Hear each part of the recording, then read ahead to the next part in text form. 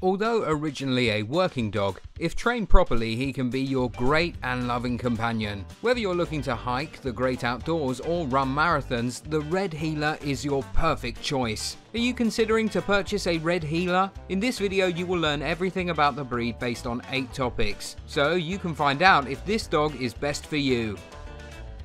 Number 1. Origin this type of breed is one of the two colour variations of the Australian cattle dog. The Red Heeler was initially bred for the sole purpose of herding cattle in Australia. It was bred by the British settlers around the 1800s. Although this dog was initially a working dog, he can be a great companion if you give him the necessary physical and mental training. Today, the Red Heelers have become popular among many households, but keep in mind that this dog is not for a family with young children. But if you want to run marathons or hike the outdoors, then the Red Heeler will be your perfect choice.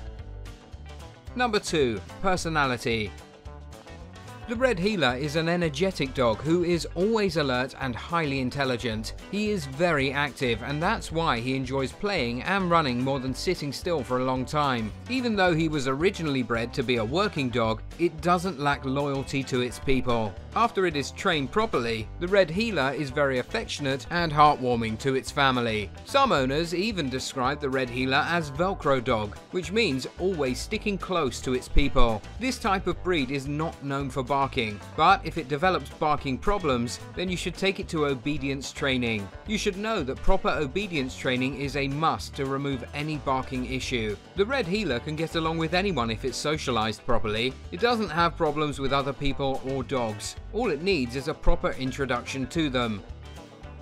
Number 3. Appearance as originally bred to tirelessly herd the cattle for many hours, this also reflects on the Red Heeler's general appearance. The Red Heeler is tough and muscular, which gives the impression of agility and strength. The eyes of this breed are dark and oval with a keen expression. It has a broad skull with muscular cheeks. Its shoulder and neck are characterized by a great mass of muscle, and his forelegs are straight and parallel. It has a dense undercoat, as well as a smooth double coat. Although its undercoat is built for warmer weather, its overcoat is weather resistant, and as such the Red Heeler is fine in cold weather too. Its coat is gorgeously red and makes everyone fall in love with it. The Red Heeler can grow up to 20 inches, which is 50.8 centimeters, and weighs up to 50 pounds, which is 22.68 kilograms.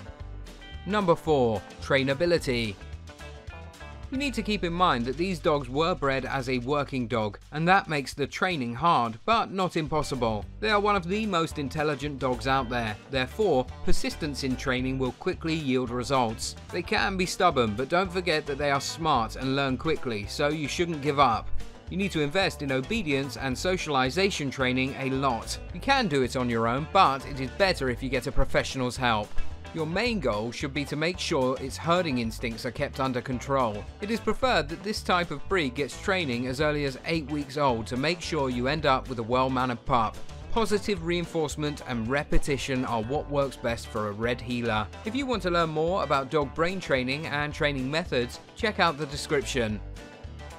Number 5. Time investment. The red heeler needs plenty of activities, exercises and companionship. It needs to have its body and mind constantly engaged with different activities. It is a very active dog, and an hour of playing in the yard is not enough for a red heeler, nor is an hour's walk. Since it can't herd the cattle anymore, you can take it to agility training classes and tire it out. Running through courses and figuring out obstacles would give the ideal mental and physical challenges it craves. All in all, you need to consider that you need to make sure the red heeler takes a lot of exercise per day, as well as have a minimum of three walks per day. It also needs weekly brushing to remove the dead hair and minimize shedding. Since you will be outdoors a lot with your red heeler, monthly bathing is essential for it.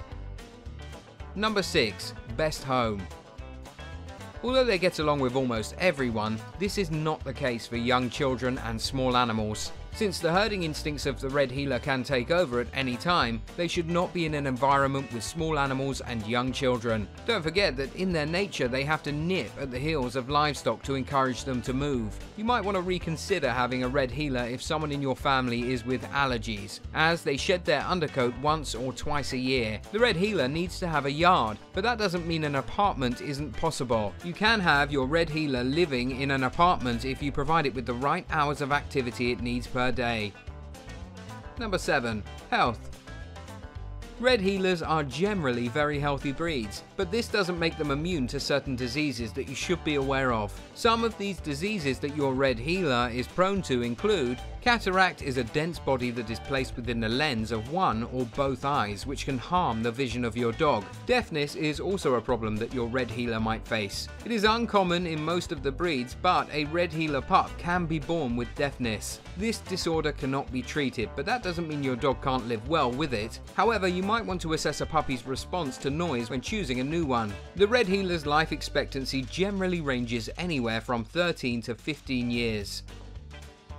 Number 8. Cost.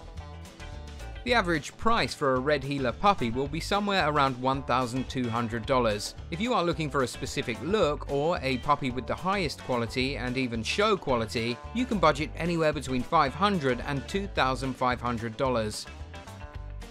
So what do you think about the Red Heeler? Let us know in the comments and share your experience with other interested dog owners. And if you found this video helpful, it will be great if you subscribe to our channel so you don't miss new videos and learn more about dogs every day. Thank you so much for watching.